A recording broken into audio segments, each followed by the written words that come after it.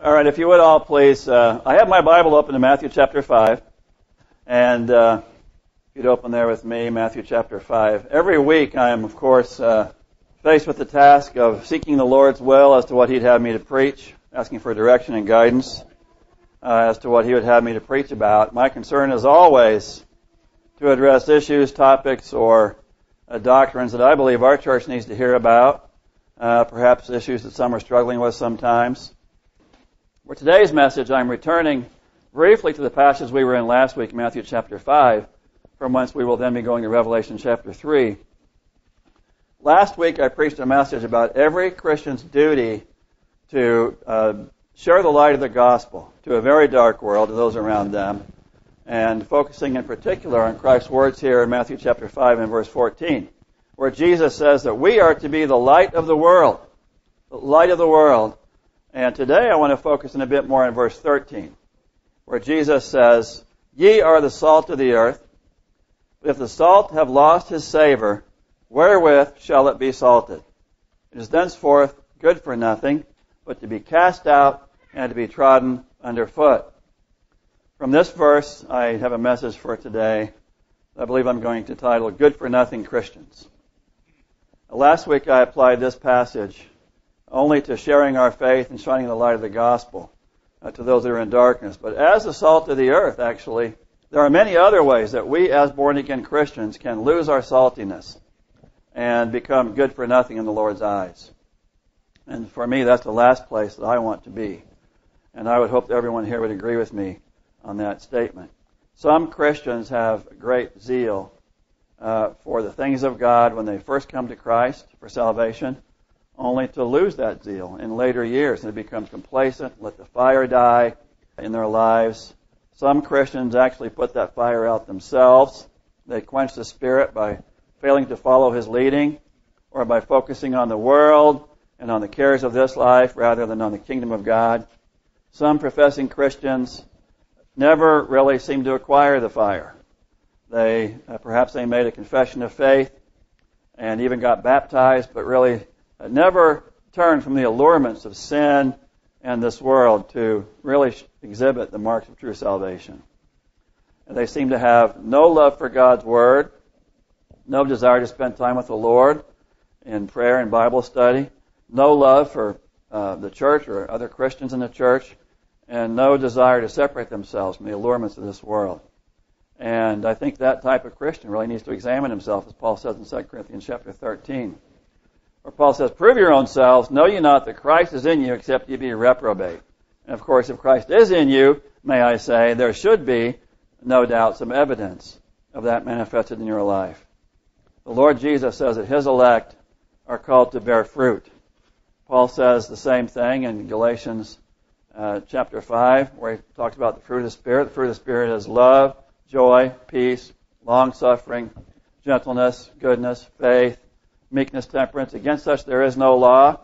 Paul says, They that are in Christ have crucified the flesh with the affections and lusts. They that are in Christ have crucified the flesh with the affections and lusts. In that list of fruit there, we don't see zeal or excitement or enthusiasm or exuberance uh, listed, but uh, we also don't see compromise and lethargy and complacency and double-mindedness and half-heartedness listed either. Those are not fruits of the Spirit. I would say those are fruits of the flesh. And the Lord Jesus says in Matthew 5 that we, as His people, are to be the salt of the earth. Not just, by the way, also the salt in our own homes. We're to be the salt of the earth. We're supposed to go into the world and let our light shine, amen, outside our homes as well. And not just through sharing the gospel, but Jesus said that they may see your good works and glorify our Father. They see your righteous lifestyle as well. And so, as the salt of the earth, as I said last week, we're not supposed to be the spice of life, uh, but we're supposed to be that which burns as it's put on a wound, right? And uh, bringing conviction to those who are wounded by sin and its effects. But if we lose our saltiness, if we get discouraged, if we give up and say it's no use, you know, we knock on all these doors and we share our faith over and over, but we see very little fruit come of it, nobody comes to church. If we get to that point, we've lost our saltiness. And Jesus says we become good for nothing. But as I said, that's not the only way that we can lose our saltiness. There are many ways that we can lose our saltiness as well and become, in our Lord's eyes, good for nothing. So in Revelation, turn to Revelation chapter 3. The old timers here will recognize that I've, we've looked at this passage in the past and, and some of what I will say today I've said before. But I happen to know that some of the old timers here need, need to hear this again, and myself included. And so I think we all need to hear this every now and then, lest we become discouraged and lose our saltiness and get lazy in our Christian walk. Jesus says in verse 14 of Revelation 3, Unto the angel of the church of the Laodiceans, write, These things saith the Amen, the faithful and true witness, the beginning of the creation of God. I know thy works. By the way, Jesus knows our works as well. He walks, he pays attention to our works. Amen. Every minute of every day. I know thy works that thou art neither cold nor hot. I would thou wert cold or hot. So then because thou art lukewarm and neither cold nor hot, I will spew thee out of my mouth. Because thou sayest, I am rich and increased with goods and have need of nothing, and knowest not that thou art wretched and miserable and poor and blind and naked, I counsel thee to buy of me gold tried in the fire, that thou mayest be rich, and white raiment, that thou mayest be clothed, and that the shame of thy nakedness do not appear, and anoint thine eyes with eye salve, that thou mayest see. And then Jesus says in verse 19, very important verse, As many as I love, I rebuke and chasten. Be zealous, therefore, and repent. That verse tells me he's talking to Christians here. Not just make believers. He's talking to Christians who have, who have become lukewarm. Behold, I stand at the door and knock. If any man hear my voice and open the door, I will come into him and will sup with him and he with me. To him that overcometh will I grant to sit with me in my throne, even as I also overcame. I'm set down with my Father, his throne. He that hath an ear, let him hear what the Spirit saith unto the churches. I begin this message by saying that uh, this message of the Lord Jesus to Laodicea is just as relevant to us today as it was the day it was written to the church at Laodicea. It has been relevant in every age of the church also, not just in this age. I repeat today, as I've stated before, that, and that very recently, I've stated that contrary to what is commonly taught in many churches, uh, the era and time that we are living in is not the Laodicean age of the church. Because the seven churches of Asia here in chapters 2 to 3 do not represent seven church ages, as is dogmatically taught by many Christians, many churches, not just dispensationalists either, uh, but historicists as well. In fact, that entire idea has actually been uh, one of the hallmarks of historicist eschatology uh, and its broad and wide open system of allegorical interpretation of the book of Revelation. William Miller, in fact, who founded the historicist Millerite movement back in the early 1800s by predicting Christ would return in 1843. He held that the Laodicean age began in 1798, uh, at which time he would have been 16 years old, and that age would end when Christ returned in 1843, he taught. And I would repeat, as I've said before, that there is nothing in the scriptures to support the view that the seven churches of Asia represent seven church ages, or that we are living in the Laodicean age. Um, while most professing Christians today are, indeed, lukewarm at best, and while some of us in this church may well have become lukewarm in our own Christian lives, this present age is characterized, I believe, far more by apostasy and outright idolatry and rebellion against the Word of God and among professing Christians than by mere lukewarmness. And we'll see that here in a little bit. Once again, um, these seven churches in chapters 2 to 3 represent a cross-sectional view of churches in every age of the church. There have always been Christians, as there were at the church at Ephesus, who guarded sound doctrine, and they busily served the Lord. They were so busy that they lost their, they forgot their first love. They forgot that they were supposed to love the Lord Jesus, the Lord their God, above everything else in this life. Instead, they may love their children, their grandchildren, or their liquor, or their home, or their possessions, whatever it may be, more than Jesus. And there have always also been, and still are, many Christians, that, as there were at Pergamos and Thyatira, who thought and taught that God's grace gave them license to sin and live in immorality, as we're seeing a lot today as well. At that time, um, the same time there have always been a small, faithful remnant of Christians, as there was at Smyrna and Philadelphia, who upheld God's word and willingly suffered persecution because of their stand. There have always been such. And also, there have always been lukewarm Christians, like there were at Laodicea, who either lost their zeal or they never gained it in the first place, who indeed instead yawned at the things of God. And so the question that we should ask ourselves today is what kind of Christian am I?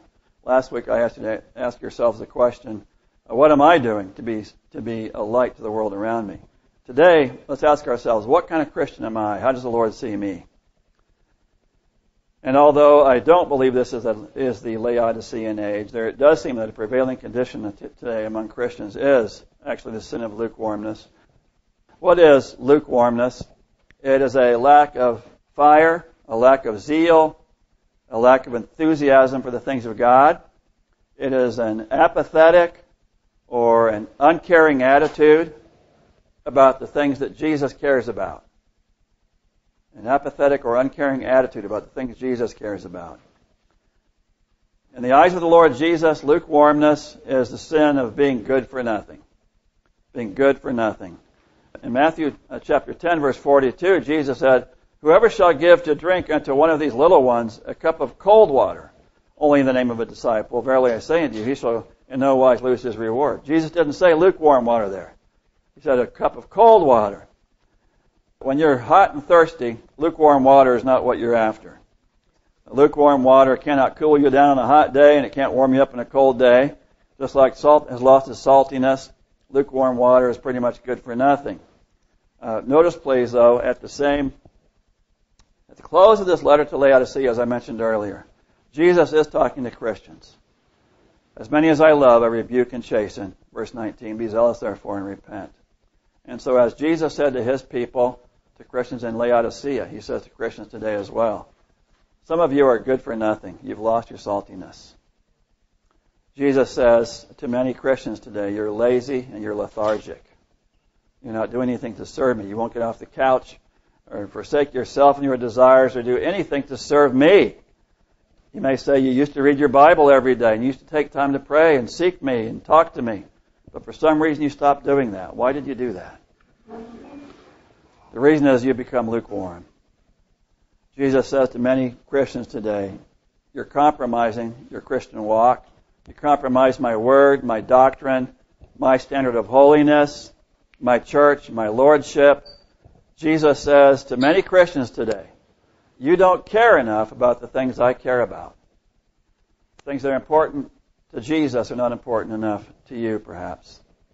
And Jesus says, furthermore, your lethargy, and your compromise and your apathy, he says, make me sick. I want to spew you out of my mouth. He wants us not only to care about the things that he cares about, but he wants us to be zealous, enthusiastic, and on fire for those things. We read in verse 14, Unto the angel of the church of the Laodiceans write, These things saith the Amen, the faithful and true witness, the beginning of the creation of God. Interestingly, here, the first designation Jesus gives himself here to this church is the Amen. The Amen. That means three things, by the way, about Jesus. First, that word Amen is often used in the Bible to express agreement and affirmation of what's being said. Even in the Mosaic Law, the people were commanded, actually, at times, to say Amen. In Deuteronomy 27, the Lord instructed Moses to recite uh, to Israel 12 curses that would come upon them if they disobeyed the law. After telling Moses uh, each curse he has pronounced upon the people, God said, and all the people, God said, and all the people shall say Amen, which was their confirmation of the covenant, acknowledging that they heard what Moses said and they were in agreement to it. And we read in Deuteronomy 27 verse 26, Cursed be he that confirmeth not all the words of this law to do them. Doesn't say amen. And all the people shall say, Amen. So in saying Amen, the people, of course, were affirming their agreement to the covenant. 1 Chronicles 16. We read about the glorious day when King David brought the Ark of the Covenant into Jerusalem. The right way this time, carried on the shoulders of the Levites, with joy and gladness and praise and worship. And we read there in 1 uh, Chronicles 16 that David wrote a psalm of praise for the Levites to sing at that joyous occasion. Read 1 Chronicles 16 verse 1. So they brought the ark of God and set it in the midst of the tent that David had pitched for it. And they offered burnt sacrifices and peace offerings before God. Verse 2, And when David had made an end of offering the burnt offerings and peace offerings, he blessed the people in the name of the Lord. And down in verse 4 it says, And he appointed certain of the Levites to minister before the ark of the Lord, and to record, and to thank, and praise the Lord God of Israel. Verse 7 says, Then on that day David delivered first this psalm to thank the Lord into the hand of Asaph and his brethren. And so then David's psalm of praise, his hymn of praise there, continues for another 28 verses. And then the Levites close that great hymn with the following words in verse 36 of 1 Chronicles 16. Blessed be the Lord God of Israel forever and ever. And then we read, and all the people said, Amen, and praised the Lord. Amen. In Nehemiah chapter 6, Ezra the scribe stood upon, uh, stood up to preach the, to the law to the Israelites that had returned from captivity in Babylon. Read verse 4 of Nehemiah 6. And Ezra the scribe stood upon a pulpit of wood, which they had made for the purpose.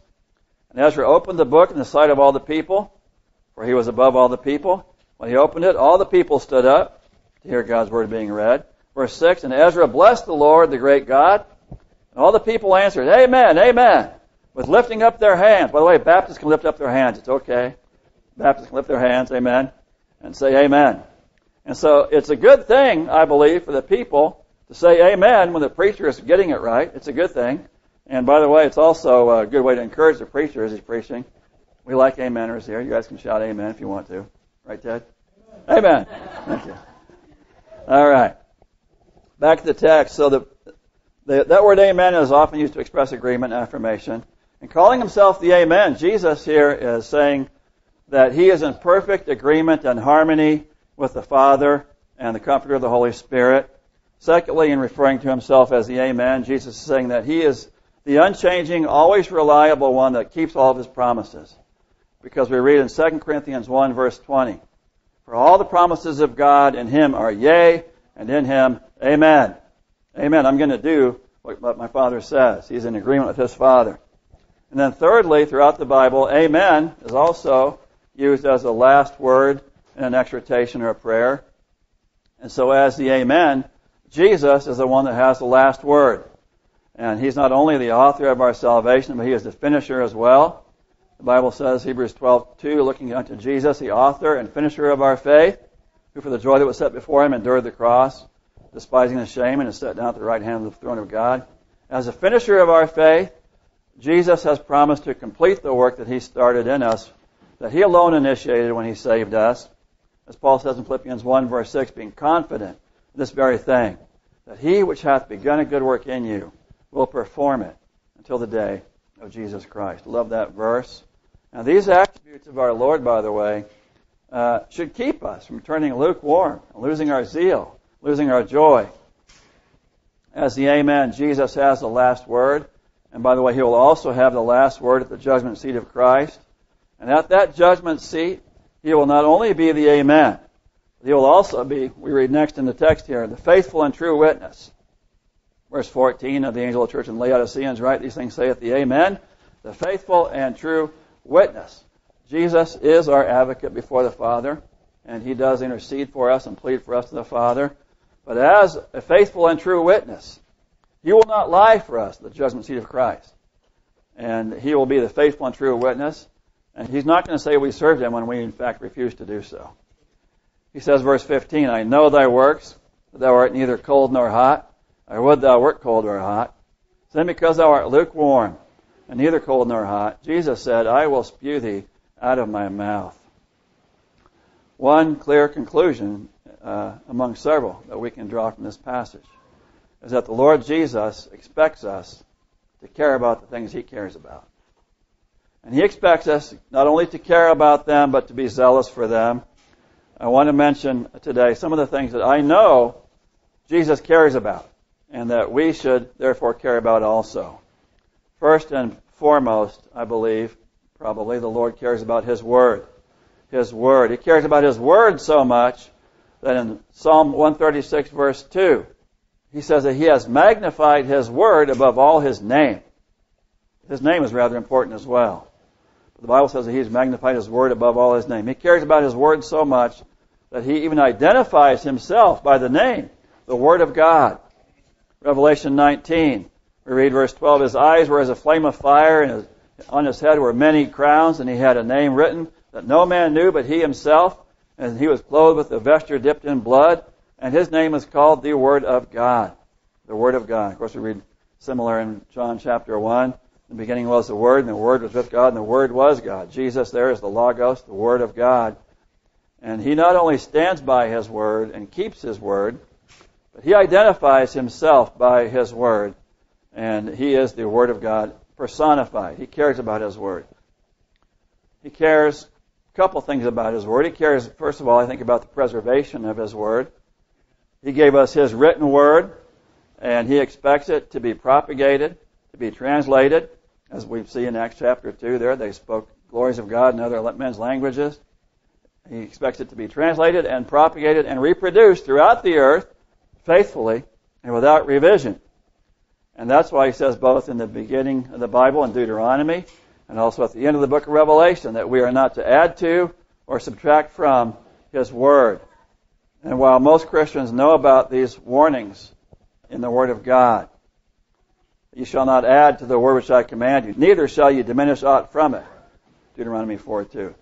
And where it says in Revelation 22, that I testify unto every man that heareth the words of the prophecy of this book, if any man shall add unto these things, God shall add unto him the plagues written therein. If any man shall take away the words of the book of this prophecy, God shall take away his part out of the book of life. Christians know these things, but most Christians today don't care a whole lot about that anyway. They use a so-called Bible that whether it's the NIV or the ESV or the New American Standard, all these so-called Bibles, as we know, we've studied either delete from or add to God's Word in literally thousands of doctrinally critical passages. They, deny Christ's doctrine by deleting hundreds of words and phrases in his teachings.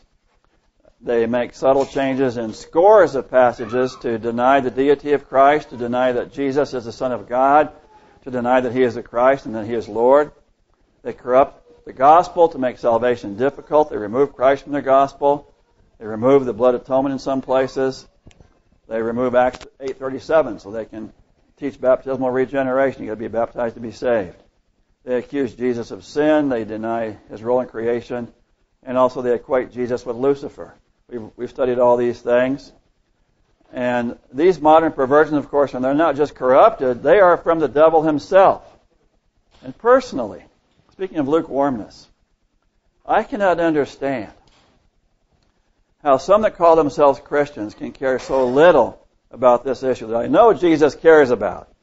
We try to tell them, we try to show them the, the evidence and the proof. These Bibles have been, your Bible's been corrupted. You don't have a true Bible here. We try to wake them up, but still they don't care. They don't care. Why? Because they're lukewarm.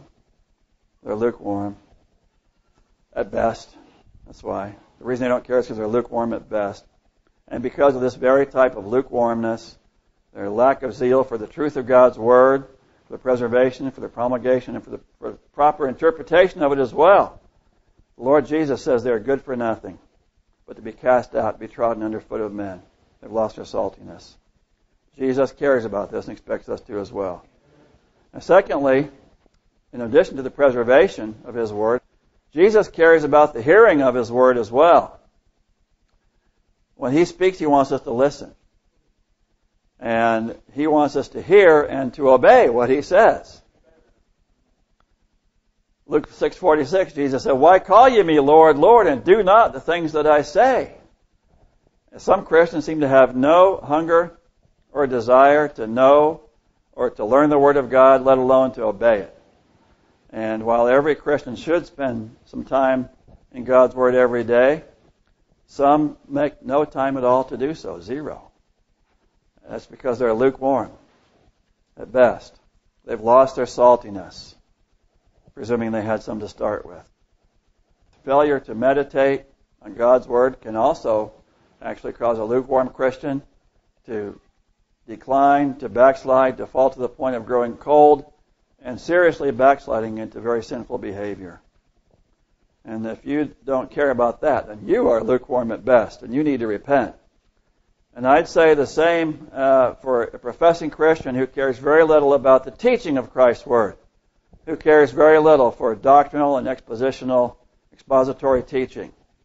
If you don't care about theological and doctrinal issues, if you don't think those are important, if you don't care about contending for the faith and for standing for sound doctrine, as we are all commanded to do, if you don't think it's important for us to refute false doctrine and heresy and Mormonism and these things, it's because you are lukewarm at best. And I would exhort you to repent before you suffer the chastisement of the Lord that He promises to those who are lukewarm. Jesus says here that He is looking for men and women to serve Him and who are zealous for the truth, who are zealous for His Word, and who are humble enough and not too prideful to be corrected by it, who will receive it. They'll listen and they'll hear, they'll hear it. Which is why we do read in Isaiah 66, that we covered few weeks back, Isaiah 66 verse 1. We read, Thus saith the Lord, The heaven is my throne and the earth is my footstool. Where is the house that ye will build to me, that ye build unto me? And where is the place of my rest? For all these things, all those things hath mine hand made, and all those things have been, saith the Lord. But to this man will I look, God says. To this man will I look. This is what I'm looking for. Even to him that is poor and of a contrite, humble spirit, not too prideful, and trembleth at that my word. God's looking for humble men and women who will tremble at his word. And again, as we mentioned recently, what's it mean to tremble at his word? It means to have the utmost respect for it. It means to have a proper fear of God's word, of disobeying it, of misinterpreting it. They tremble at the thought of spurning or rejecting or perverting God's word. That's what it means to tremble at God's word.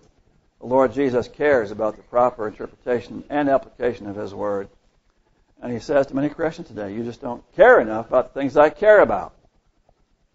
He wants us to care about those things and to be zealous and enthusiastic. He cares about His word. Secondly, Jesus cares about the sanctification and personal holiness of his saints. You cannot read these first two chapters of uh, Revelation, first chapters two to three, and fail to see that Jesus cares about the sanctification and personal holiness of his saints. He does not agree with the rampant homosexuality and the perversion that is sweeping through so-called Christian churches today.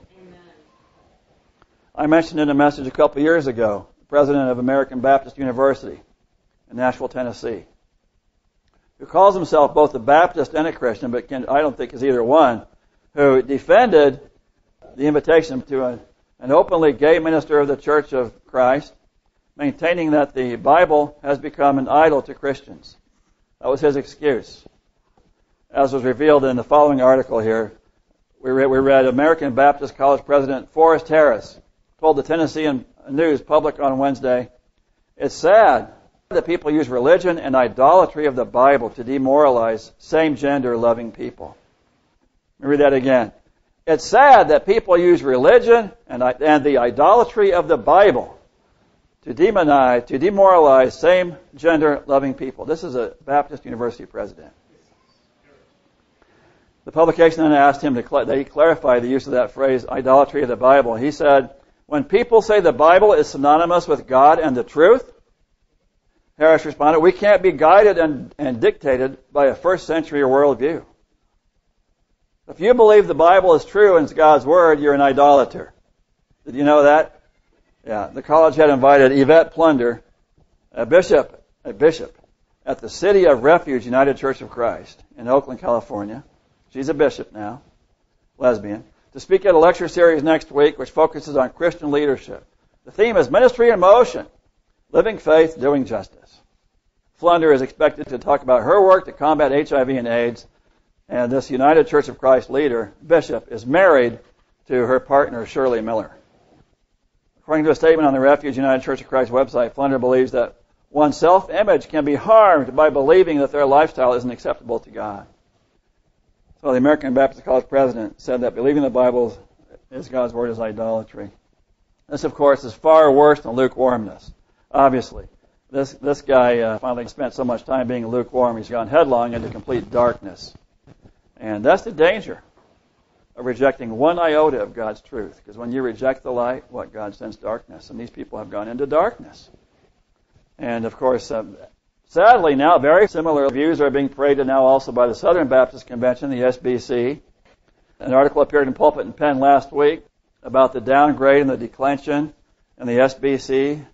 The article is actually too little too late since the SBC long ago began downgrading into apostasy with the adoption first of the Scofield Reference Bible and then the modern Bible perversions.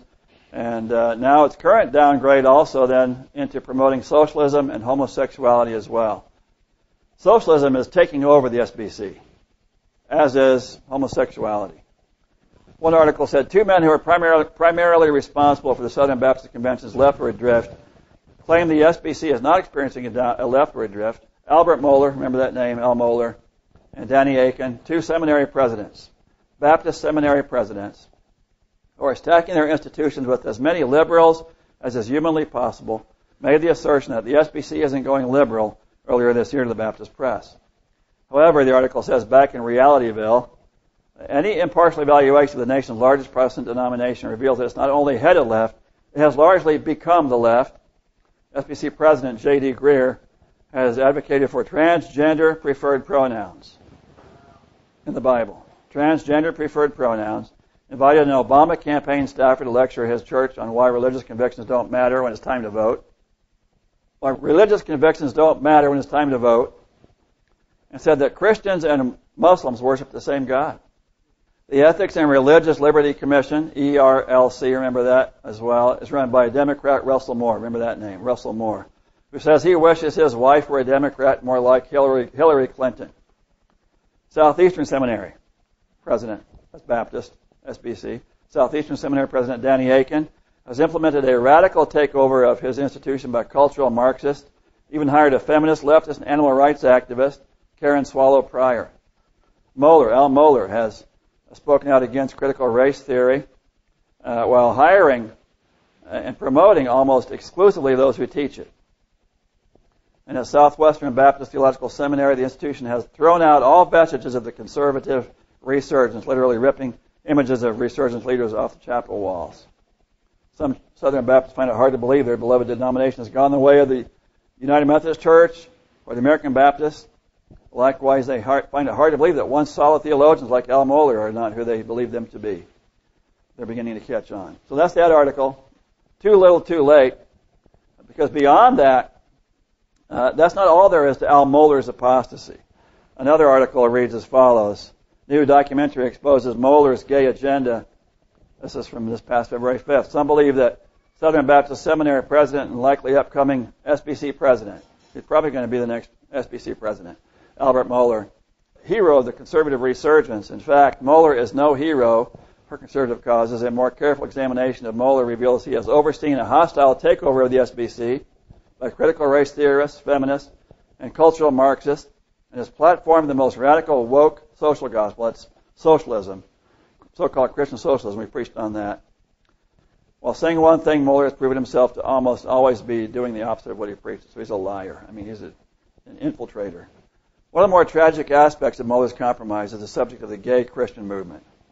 Evangelicalism has been bombarded by homosexual experts on human sexuality who pretend to be believers but are not set free of their own queer desires. Mohler has embraced these same-sex attracted, self-promoting foul martyrs and bid them swift Godspeed to corrupt the church. I'll skip some of this. One man, Dr. E.S. Williams, points out that in spite of a 2005 position held by Mohler declaring that the modern concept of sexual orientation opens the door for homosexual lobby to reinterpret the meaning of Scripture. A decade later, Mohler has changed his mind. We see a compromised man who radically changed his position. Similarly, the video shows that Mohler used the language and tactics of the progressive left to accuse those who disagree by calling them homophobic. He has made repeated public statements exposing his ideological, his theological drift from sound biblical doctrine. Mohler's full report Full support of the same-sex attracted narrative is also shown in his promotion of the book Is, is God Anti-Gay, written by Sam Allberry, the same-sex attracted priest of the Church of England. Last paragraph, the evidence outlined in this bit about a video makes a compelling argument that Albert Mohler's accommodation to progressive ideologies and worldviews will not only destroy the Southern Baptist Convention, but indicates that Mohler's theological error is a direct attack on what the Word of God declares regarding the sin of homosexuality. Like I said earlier, while many Christians today are lukewarm, and while some of us in this church may well be lukewarm in our own lives, this present age is characterized far more by apostasy, idolatry, and outright rebellion against the Word of God than by lukewarmness. And the Lord Jesus would say to these men today, these so-called presidents of so-called Baptist colleges, pseudo-Baptist, the same thing he said to that woman Jezebel in Thyatira, Revelation chapter 2, where he said, Notwithstanding, I have a few things against thee, Revelation 2.20, because thou sufferest that woman Jezebel, who calleth herself a prophetess, to teach and to seduce my servants to commit fornication. She's teaching them they can commit fornication, just like they're doing in these Baptist seminaries. And to eat things sacrificed unto idols. Jesus says, I gave her space to repent of her fornication, and she repented not. Therefore, he says, Behold, I will cast her into a bed, and them that commit adultery with her into great tribulation except they repent of their deeds. Then Jesus said, verse 21, 23, and I will kill her children with death. That's the Lord Jesus talking. I will kill her children with death, and all the churches shall know that I am he which searcheth the reins and the hearts. By the way, that's a phrase that, that links Jesus to the Jehovah of the Old Testament back in Jeremiah. I am he which searcheth the reins and the hearts, and I will give unto every one of you according to your works. And uh, by the way, that sin of fornication also includes the gross perversion of homosexuality.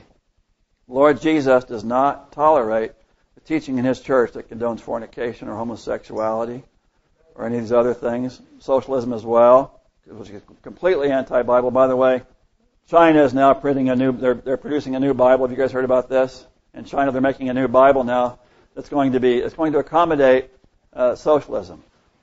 They're taking out parts that that that uh, are anti-socialism. The entire Bible is anti-socialism. So that's going to be an interesting. I may I may preach on that in an upcoming message, perhaps. But Jesus does not tolerate this type of teaching. And my guess that the reason that president of American Baptist University or American Baptist College said that uh, it's idolatry to believe the Bible is, is true, basically, that we can't live by the Bible, that's, that, that's idolatry, it's because he's probably a sodomite himself. As saints of God, we have been called out of the darkness of this world. Peter says, But ye are a chosen generation, a royal priesthood, a holy nation, a peculiar people, that you should show forth the praises of him who hath called you out of darkness into his marvelous light, which in time past were not a people, but now are the people of God, who had not obtained mercy, but now have obtained mercy we read in Colossians chapter 1. Paul says, giving Colossians 1, 12 through 13, giving thanks unto the Father, which hath made us meet, suitable, to be partakers of the inheritance of the saints in light, who hath delivered us from the power of darkness and hath translated us into the kingdom of his dear Son. Ephesians 5, 8 says, For ye were sometime darkness, but now are ye light in the Lord.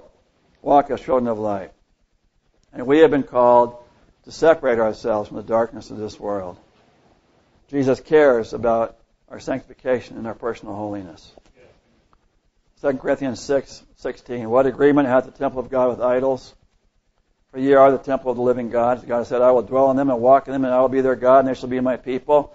17. Wherefore come out from among them, and be ye separate, saith the Lord, and touch not the unclean thing, God says, and I will receive you, and I'll be a father unto you, and ye shall be my sons and daughters, saith the Lord. We read there.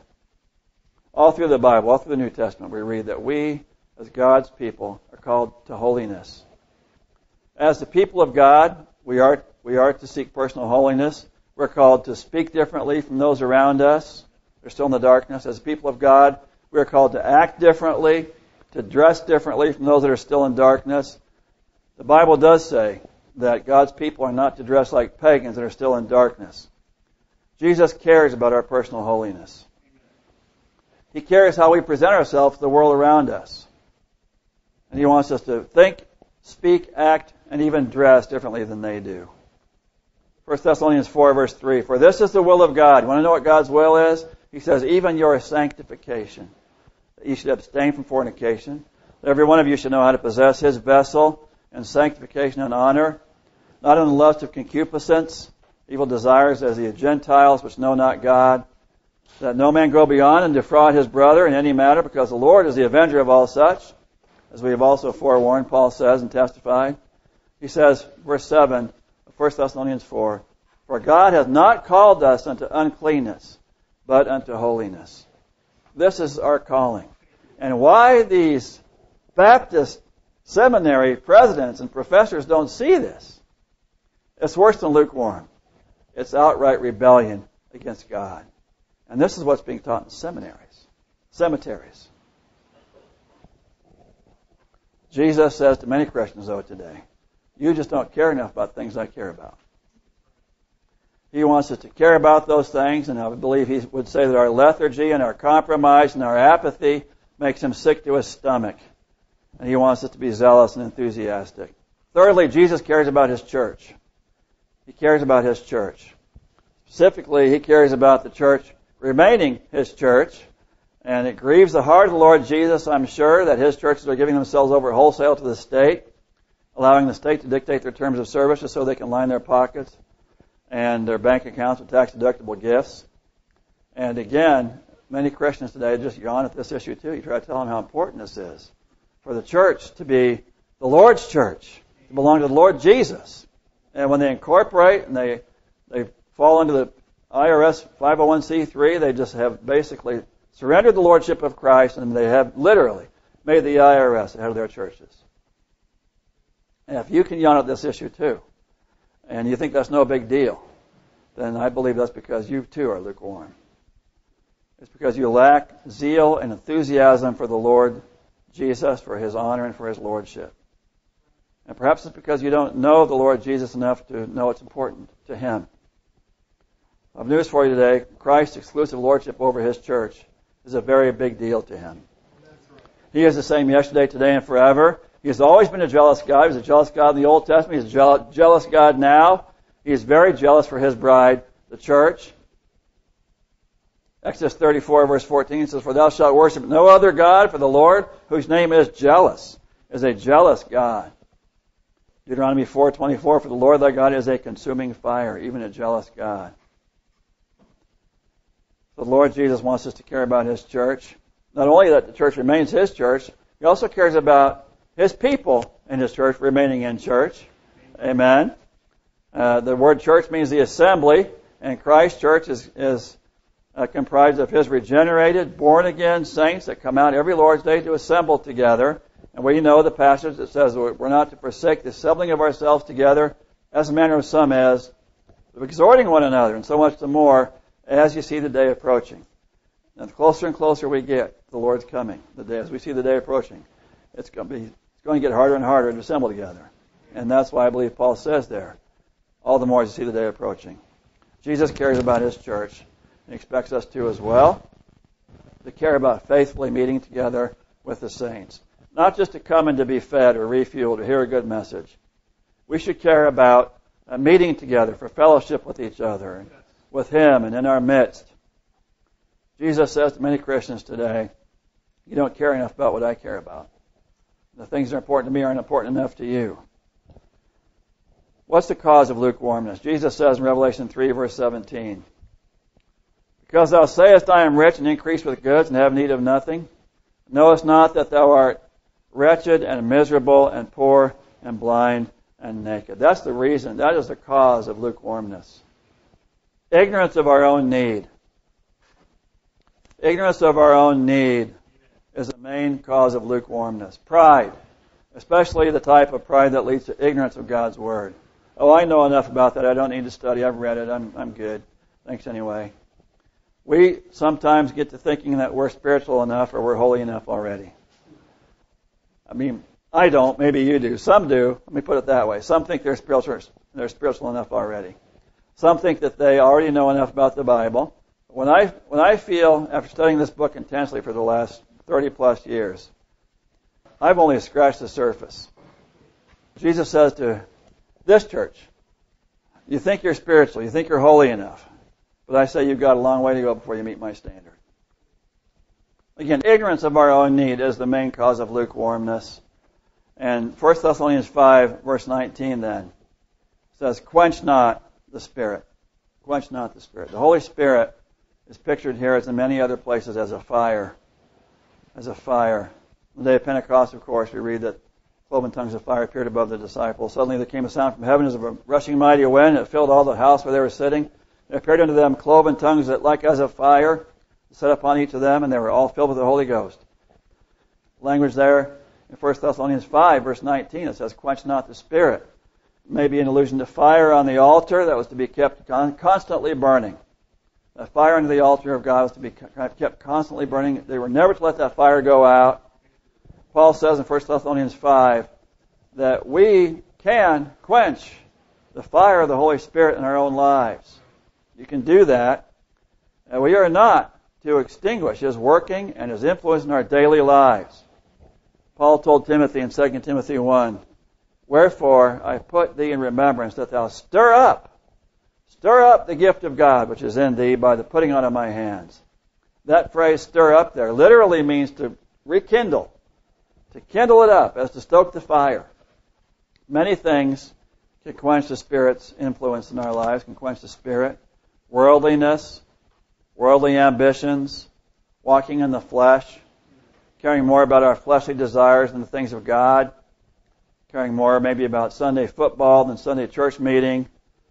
In short, not caring enough about the things that Jesus cares about. And we need to kindle the fire. We need to stir up the spirit within us, keep it stoked and burning. We read in 1 Thessalonians 5, verse 16, Rejoice forevermore, pray without ceasing. Verse 18, in everything give thanks, for this is the will of God in Christ Jesus concerning you. And then verse 19, quench not the spirit, despise not prophesying, prove all things, hold fast that which is good, abstain from all appearance of evil. This is how we stoke the fire. And then Paul says, "In the very peace of, uh, very God of peace, sanctify you wholly." Says, "I pray God, your whole spirit and soul and body be preserved blameless until the coming of our, of our Lord Jesus Christ." Jesus says to many Christians today, "You don't care enough about what I care about. Things that are important to Jesus are not important enough to us. The Lord wants us to care about those things. His Word, our personal holiness and sanctification, His church. And for good reason, He finds our lethargy and our compromise and our apathy sickening. He wants us to care, to be zealous, enthusiastic and on fire for Him, for His Word, for serving Him, for the things of God. He says, verse 19, As many as I love, I rebuke and chasten. Be zealous, therefore, and repent. Behold, I stand at the door and knock. If any man hear my voice and open the door, I will come in to him, and I will sup with him, and he with me. To him that overcometh, does let himself get lukewarm. Will I grant to sit with me in my throne, even as I also overcame and am set down with my Father in his throne? He that hath an ear, let him hear what the Spirit saith unto the churches. Amen. Let's pray. Father in heaven, Lord God, we thank you for your word. Help us all, Lord, to repent of our lukewarmness. We can all fall into a place where we become lethargic and lazy, and we lose the zeal we once had, perhaps. Lord, help us all to maintain that zeal. And I just pray that you'd help us to stoke the fire of the Holy Spirit in our lives. In Jesus' name we do pray. Amen.